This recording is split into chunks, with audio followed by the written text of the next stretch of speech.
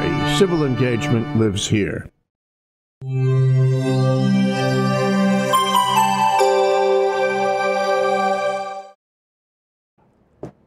Welcome back to the Cyber Underground. I'm your host, Dave Stevens, also known as Dave the Cyber Guy, and I'm here with Andrew the Security Guy. Welcome, Andrew. Hey, everybody. And we got some guests Good to here be back, today. Uh, Stanley and Tim, they're going to introduce themselves from Hawaii High Tech Support or Tech Support. Hawaii Tech Support. Hawaii Tech Support. And the reason we got you guys on the show today is we're going to be starting to talk about uh, why is it important to trust your tech support.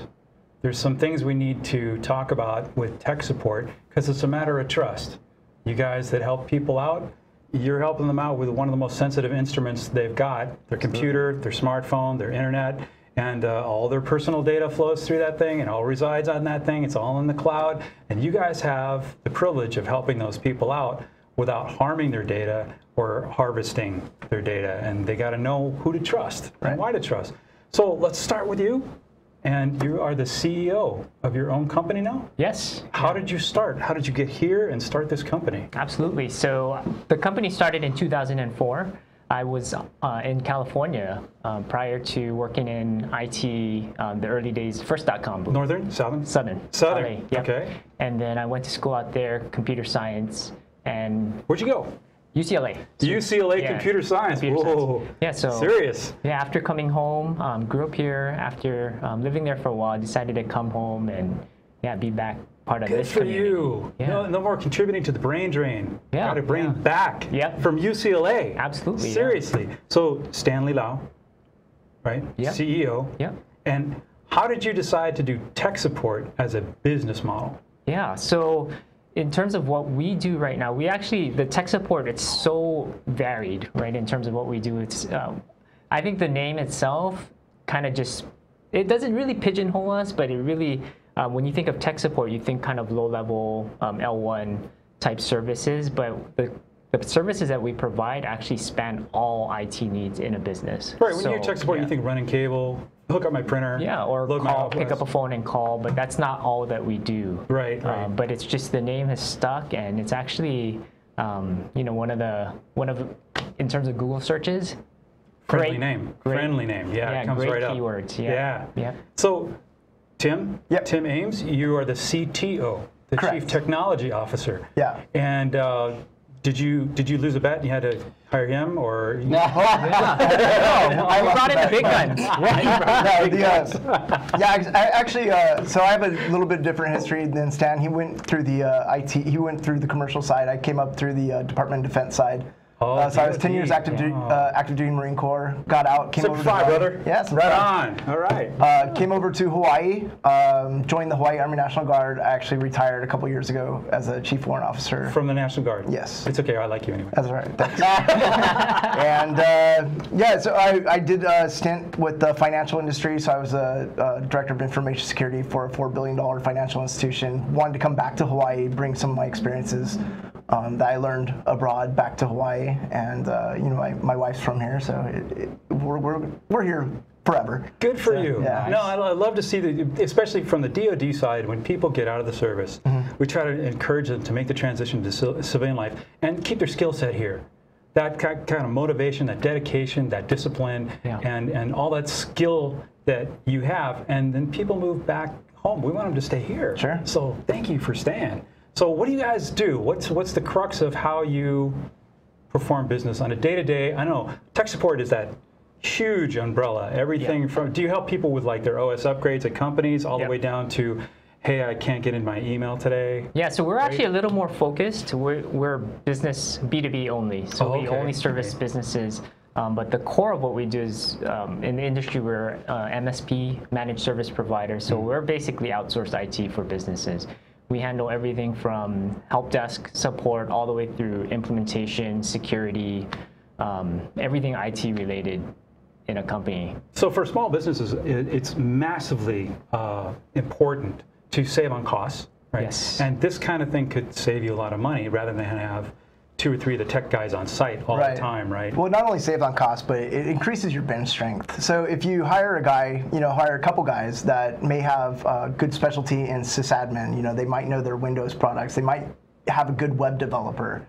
Um, when it comes to when it comes to doing networking, networking security, um, some of the more esoteric uh, needs and requirements of a business uh, on the, in the technology sector, um, that's where we come into play. So we do have that bench strength. We have security experts, we have network experts, we have uh, Windows and Linux experts, and could be we- a real help because Right. uh, some companies will do Cisco, other Palo Alto networks, in other words, Fortinet, Right. or they might have a mix of it.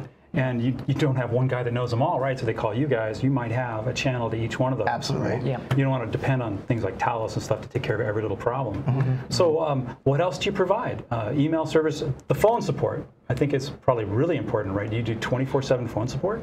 Yeah, we do. So we actually work with, uh, we have a 200 person help desk team. 200 people. Right. That's actually part of a partner um, group that we do. And so we are able to offer the 24 by 7 support um, to our customers. And Out of the islands, or you do a rotational around the world? Yeah. it's a little bit of hybrid model. Yeah. Hybrid. Yeah. Okay. Yeah. So you have call centers at different places. Yeah. Right. I know Microsoft moved to that model now. You can call, you get Nova Scotia, or you get something in the Dakotas, or you might get Chennai, India, and it's just wherever it's daylight. You know, someone's working on, on Yeah, that. it's following the sun. Following And the It's a good model because, you know, the, the, your issue is always being handed off to somebody that's awake and, and Yeah. up and, and, you know, Not on you're, 17 you're not working, you're not working with that midnight shift, you know, the guys that are, aren't really happy to be there. Yeah. Can I help you? I've had those guys before. So you work with, uh, what other countries do you work with? Uh, Where are your call centers? Yep. So Can I know? actually, they're primarily um, in the U.S. In the US. East, Co- East Coast. East Coast centers, yeah. So I've never been to the East Coast. You guys been to the East Coast? DoD, you must have gone over there sometime. Yeah, right? I've been in DC, uh, Boston. Different uh, mindset. Sure. Um, but now that you're back here, the similarities and differences you see in your business model now, the versus East Coast versus the Hawaii customer. I, I think um, so. One of the biggest differences, I think, is that um, people think that Hawaii is is technologically behind. No. where that's not absolutely absolutely not Is the that case. true? That's what people think about us?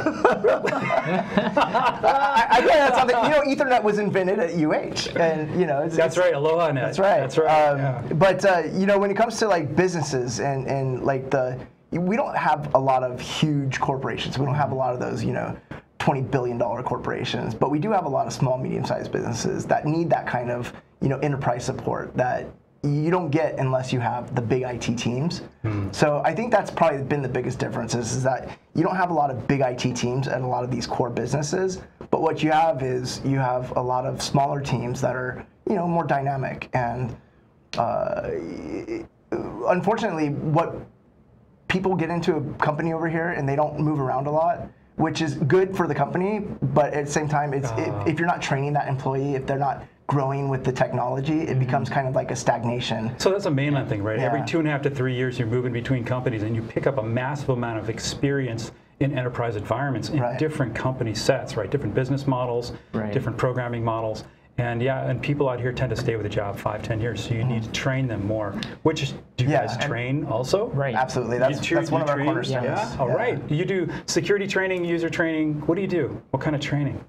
So there's a there's a few different fronts. You mentioned the primary goal for us is customer service is big, so we focus on that. In addition to the technical training, we have different tracks um, that we go through different platforms. So that's something that, like you mentioned here, we try. You know, as a business owner, I think it's tough to retain really good people, and that's one of the things that we really need to focus on, is to be able to get people uh, motivated and and trained up. tremendously difficult to hold on to people, especially because it's so expensive to live out here. Mm-hmm. And if someone offers you a job for, say, 20K more a year, you have to go. It's not like you can stay, right? And you can't keep raising everybody's pay to keep them. Right. So what do you do to motivate people to stay on board? And how many, can I ask about how many businesses you serve right now? Yeah, so we're right now we're at about 80 companies 80 companies. locally. Wow. And so, like Tim was saying, because Hawaii, the mix of the business really is we're uh, primarily small business driven um, here. So that's the core of our business. We're finding that there is a large market for what we do, um, but you know, I think Andrew knows as well. It's it's a great marketplace for small businesses, and it's it's a good focus for us. So I know if small businesses are watching right now, they're probably asking, do I have to pay thousands up front or can I just do a, a per phone call model or a per visit model or well, how, how do I get involved? If I'm a small business, say I'm, I just opened up my liquor store, mm. and you know now I have a POS, now I have some other kind of computer equipment in the shop, and I want to remote in and I have some security cameras. So I call Andrew for the security cameras, but I call you guys for tech support. Right. How do you handle that? So it's really going in and doing an assessment. That, that's step one. Is to say, look, these are all the disparate systems that you've brought in over time, and we want to make those. You want to coalesce those into a good business solution for you, and then we want to get it baselined. You know, we want to get that security patching done. We want to get you up to the current operating system. We want to get you up to your, you know, current hardware systems that you need. So that's the initial outlay of money. So let, us go That would be back for just a second. You, you said you want to baseline it. So Right. for our viewers out there, you want a baseline of something because you're looking for anomaly detections. Correct. Right. You want to know uh, if I'm using this amount of bandwidth through the day, but Yeah. all of a sudden I get this huge spike to a whole bunch of websites I've never been to before. Sure. That's an anomaly. You can Yeah. Say, hey, set off an alarm, right, and call you guys. Yeah, and so before we even bring on a customer, what we want to do is bring them up to a good patch level. You know, make sure all the security patches are applied. Make sure that they have the right authentication model. You know, Now, so that not people just are logging for in. Operating systems, right? You're already talking about uh, Applications. electronic Applications, and yeah. applications Correct. and and your uh, network devices Yeah. all have to be patched. Oh, up even on the right level. physical security devices, Right. the camera systems. I mean, if those just go left unpatched, Yes. those firmwares need to be patched as Big well. problem. Right. Yeah, that's a huge problem. And then patching them because sometimes they're air gapped. Well, right? Well, that's one, but network. you know, I think you guys probably see, you know, the, the small business guys are trying to save money, so they're running all this stuff on a single LAN, right? Right. Mm-hmm. And you know, escalation of privilege for services and applications is a problem. So rarely, you know, they've had some vendor come in and drop something, and another vendor came in and dropped something, and no one's really paid attention to the user privileges that are Mm-hmm. out there. And that, that you know, if you get something, some malware anchored in there, escalation of privilege makes it fairly easy to move around, especially if it's a you know network running across one switch, right? You can kind of see everything all of a sudden.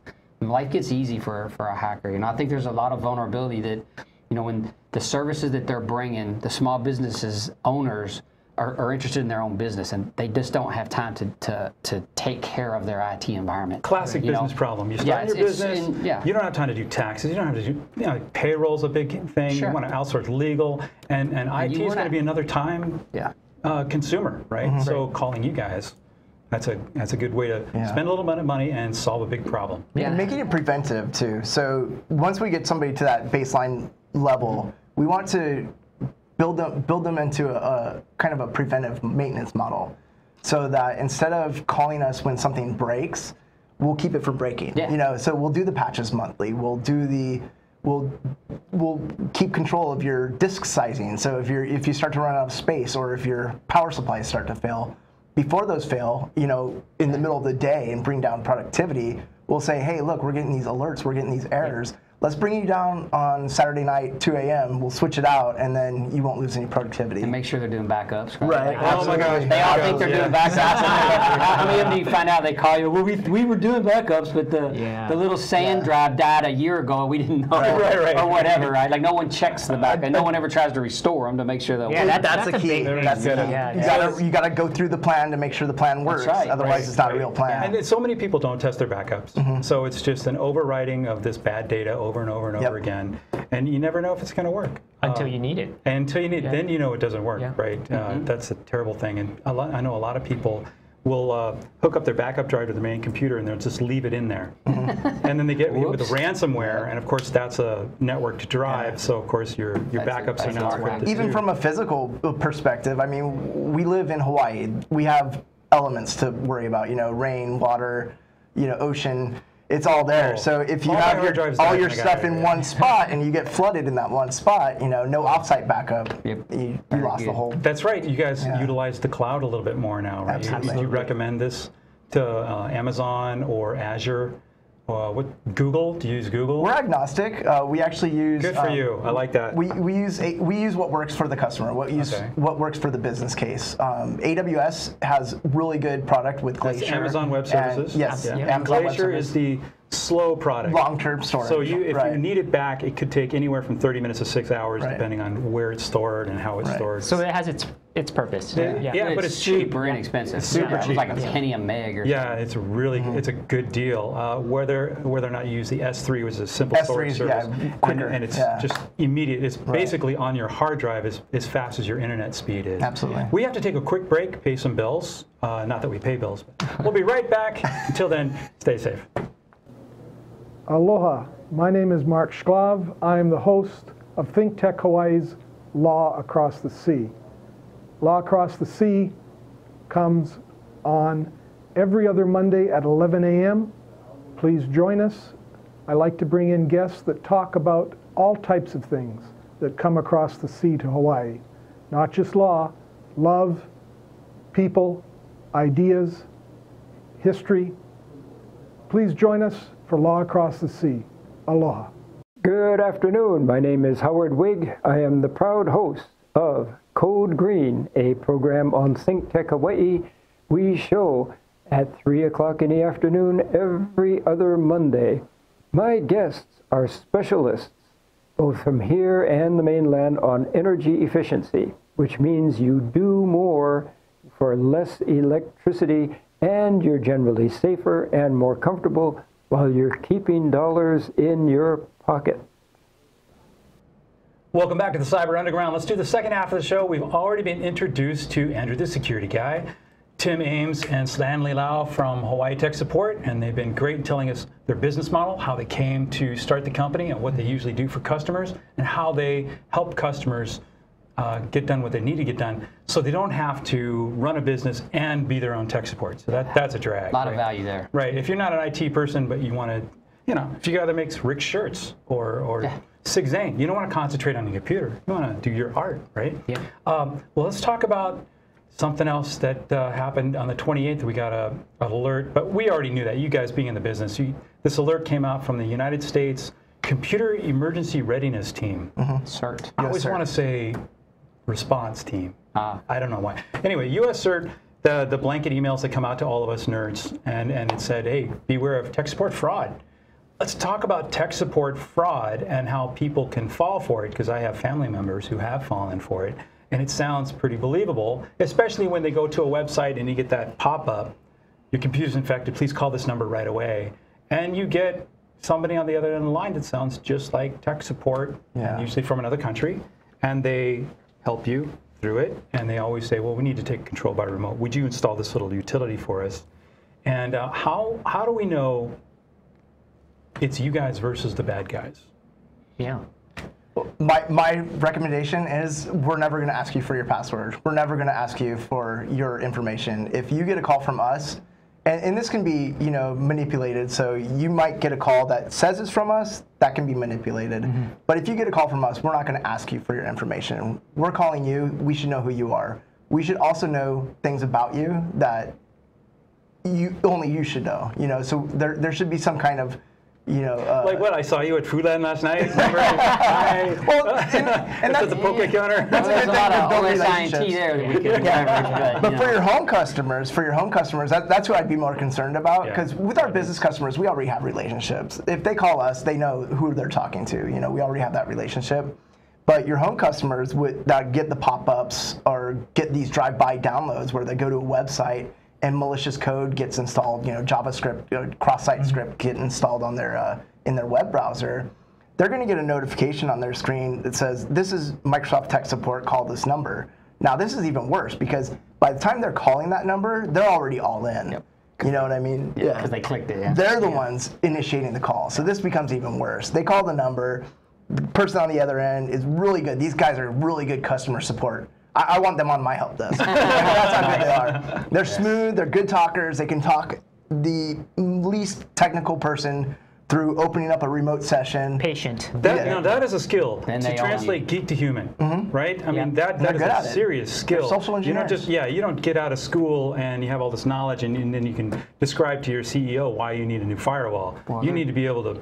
Yeah, they're training. play to your audience, there's right? Training academies They're training them to do that. Absolutely. Wow. Owned by, you know who owns them. Dave owns most of them. He's the only guy who ransoms his own family. You know? that hasn't happened in a while. I mean, uh, I never did that. I listened to an actual staged call recently. Yeah. And it's amazing what they'll tell you. So there was a university in New York.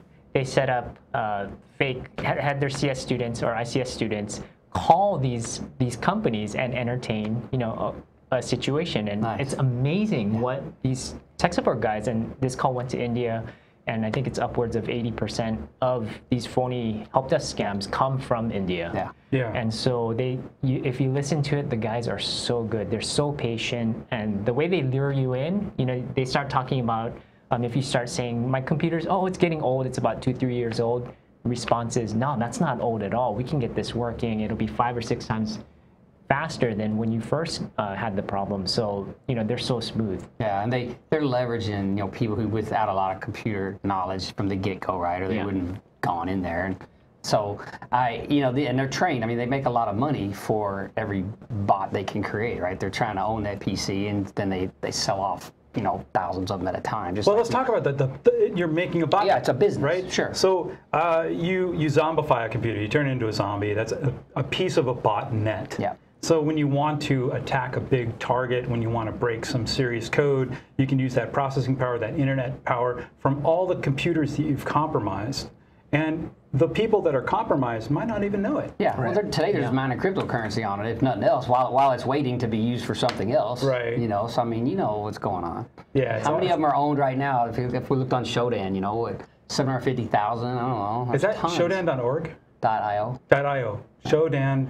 S H O D A N dot Yeah, and then you can you can go look and see who, who's advertising what size botnets. I mean, there's guys Right. there's guys who unleash you sixty thousand bots for you know something per hour or something per uh, that usually fifteen minute increments, right? I mean, it's all on That's- the that- a lot of that stuff's got to be yeah. driving your business, right? How do you, what do you monitor on a daily basis to make sure you're on top of these kind of situations? Now you got U.S. CERT, we have InfraGard, which is FBI and civilian sector together. Uh, what else do you monitor? So IC3, which is the Internet um, Computer Crime Center, uh, which is the one that actually came out with the you know the, adv- the advisory for the US, US CERT. Right. Um, DHS, the Department of Homeland Security, has a lot of advisories. Uh, but yeah, InfraGard and, and US CERT, SANS, SANS. are those are the big ones. Um, Every once in a while, NSA will put something out, yeah? yeah, Yes, sure. sir. Every once in a while. They're, Yeah. But they clear, a little closer to the vest more DoD. NSA. Those guys, yeah, they just Yeah. they usually backing up DHS, which is their their mouthpiece, Yeah, which is good. You know, they all work together. So In none of the alerts in the past, I'd say five years, ex- uh, with the exception of when the uh, FBI tools got or the NSA tools got leaked out, none of them have ever been really too like, oh, that's blowing my mind. You know, none of them have really caught me by surprise. So um, Yeah, Mariah was a big one. Yeah, Yeah, yeah. that was one of those tools, yeah. right, and Right. It, it's it's hitting it's hitting hard again too with the ransom the uh, Petya virus, and you know, it's, it's So ransomware, this Yeah. is a great one, right? You guys have to have a response team for ransomware. You have to have this, Yeah. right? What do you do if I called you up? Oh, my my accountant double clicked on something, and now our whole network is encrypted. Help. yeah. What, what's your first response? It's assessment. I isolate, you know. So the first You don't the get any first empathy first? I'm so first. sorry. Um, so I, I've dealt with ransomware uh, several times in, in my experience. Um, it's really comes down to a business decision. If you're coming to us uh, for the first time and saying we've been exposed to ransomware and they've got all our shared files, they've got all of our business data, I'm going to ask, well, have you? Do you guys have the backup? Do you guys have shadow copy? Now a lot of these these uh, ransomwares will disable the shadow copy feature in Windows first before they start. Yeah. Uh, And then there's a delay. And then yeah, Yeah. and then so you can't even get to the uh, you know those old automatic copies. If you don't have a good backup solution and you get hit with ransomware, um, there's not much you can do because a lot of them are encrypted with RSA type encryption, which is you know DoD strength level Yeah, encryption. encryption's good. You, you just can't Yeah. unencrypt it. Do you do you tell them ever to? to uh, I know there's a, a slim chance if you keep the power on, Mm-hmm. you can get into main memory, and the key might still be there. Have you guys ever been? Do you ever try that? Yeah, so what they'll do is it, the way RSA works is it uses the private and, and, and public key. So it'll encrypt with the public key, and then you'd have to have that private key to unencrypt it. So even with the public key, you wouldn't actually be able to reverse engineer it most of the time. Um, I haven't ever had success with having it powered on. And, I don't know anybody that's had that success. I just read the article. I'm like, Yeah. that's that's a neat theory, Yeah. but I've never heard of anyone being able to And the only the only real success I've had in recovery from uh, ransomware is either restoring from backup um, to where you're going to lose at least a little bit of data um, from when the ransomware attack hit to when your last backup Right, data set that was. gap. Yeah. Or um, in the FBI doesn't recommend this, but it becomes a business decision: pay the ransom. Pay the ransom. And- Aren't you taking a chance though? They don't have to give you the key. No. They don't have to, but you know what? It's their business model at stake then. Uh, I haven't seen anybody pay the ransom and not get the key back yet, and that's just my base, my own experience. I, I can't say if that that's true all across the board. I've, I've heard stories, but when you pay the ransom, it behooves them to give you the key because otherwise, if people aren't trusting that they'll get They'll the key, never then they'll another never dollar. make It's the a business model. But then you Right. gotta, you gotta comb through their network and clean, look for what's been left Absolutely, behind. yeah, You know, just because you now you're back working, but, Right. you know, doesn't mean they didn't they're drop coming back something soon. in there. Yeah. Right, right, right. Yeah. something that looks different, but You it's know the same us. guys. yeah. Um, now, do you guys report this to the FBI? It should be reported to the Yeah. FBI. Um, all these things should be in from the consumer level, from the home level. It should be reported to the FTC as well. So if you if you're falling for these like tech scams, Hmm. the Federal Trade Commission is actually the people that they're the consumer protection. They uh, handle branch of phone the- systems and stuff. Yeah, FTC. That's No, the FCC. Yeah, FCC. Oh, sorry. Right. FTC Federal Trade. right. So they're the consumer protection arm of the government. Do customers who have been hit by ransomware ever ask you, "Hey, can you track where my money went?" That that happens, and that's that's when you pull in the FBI level assets. Um, you can actually go in if you make the payment via uh, via cryptocurrency. Yeah, Bitcoin, right. ninety nine percent of the time it's Bitcoin or Right, Litecoin. right, right. So if you make that payment, payment, you can actually track the transaction, and you know where that transaction gets ends up. So if the FBI has a list of wallets that are you know being used for these transactions, they, they may be able to do something with Interpol. Uh, yeah, but the biggest problem is if, if it's, It's all in going to Ukraine, Ukraine, or China, or- Right. North Korea. yeah, something like that, you'll never get it back. Yeah. North Korea. Yeah, it's definitely. Yeah, they're gone. very money driven now. Yeah. Yeah. So yeah, I think the FBI's biggest. Uh, I'm not going to speak for them, but I've, I've heard what they've said that they're working with Interpol and these other agencies. They're they're trying to bust up these rings, you know, like. Thank but that's not going to stop these onesie twosies people from going onto the dark web, ordering exploit kit, and just doing it. You know. Yeah, the kids. It's I mean, getting all too hosted. easy, Well, and right? the kids are the- there's what 10,000 new people a day coming online, right? They got access. They're living in. They're making a buck a day as, a, as their living wage, and if they can double or triple that with just a little bit of ransomware, Yeah. well, they carry no money. Yeah, it's a new movie It's out I think we're actually I going to go to this Ready Player One. I think we're all going to be there. Uh, with the final couple seconds, we got about 30 seconds left in the show.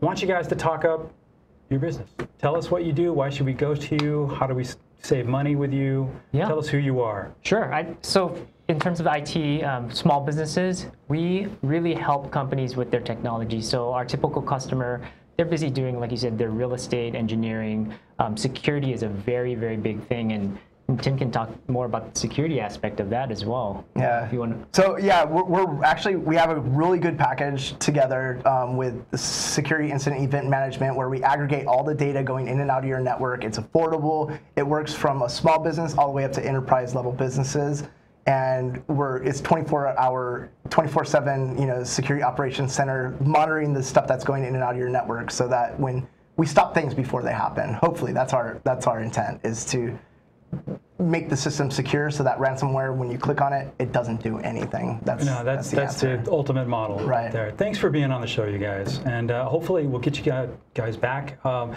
and on that show, we'll start drinking again. Yeah. thanks for being on the show. Thank you. Okay, Awesome. Thank you. thanks everybody for joining us here on the Cyber Underground. Join us next week. Until then, stay safe.